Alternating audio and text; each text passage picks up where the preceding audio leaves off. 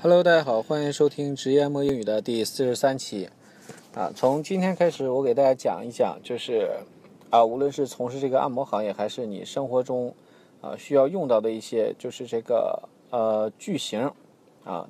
比如先看今天的是 there be 句型啊，因为呃之前我已经给大家讲过很多这个按摩中需要用到的一些英语啊。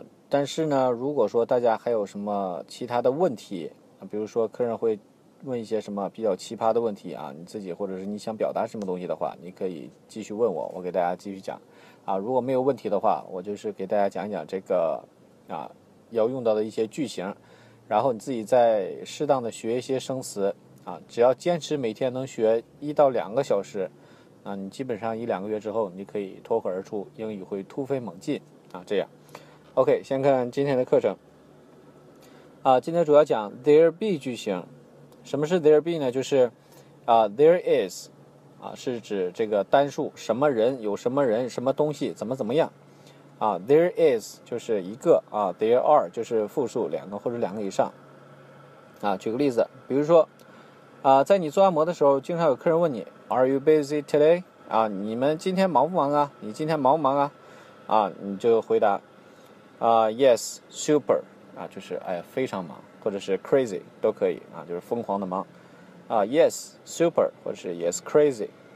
啊，there are six appointments after you，after you，呃，就是啊，在你后边还有六个预约，就是 there be 句型就出来了啊，there are six appointments after you，啊，我有六个预约，在你后边有六个预约，或者是下边这一句，啊，客人。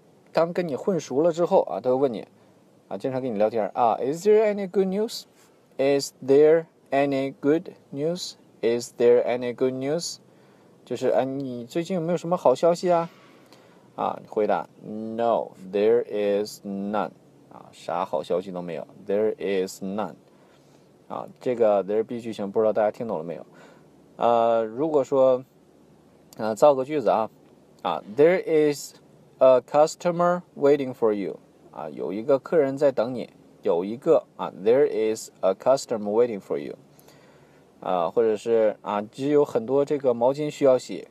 啊，There are plenty of the towels need to be washed. There are 啊，因为是很多嘛，啊，复数的形式。There are plenty of towels 啊，need to be washed. 啊，或者是比如说你这个前台是一个老美的收银，啊，你比如客人走了之后，你要问他，Is there any tip for me? Is there any tip for me? 啊，这个有没有我的小费呀？啊，他给没给小费呀？Is there any tip for me? 那这个就是 there be 的句型啊，there are, there is 或者是 there were 就是过去怎么怎么样，啊，主要是指。有什么东西或者有什么人怎么怎么样？There be 加上后边这个主语，啊啊，再从头来看一遍。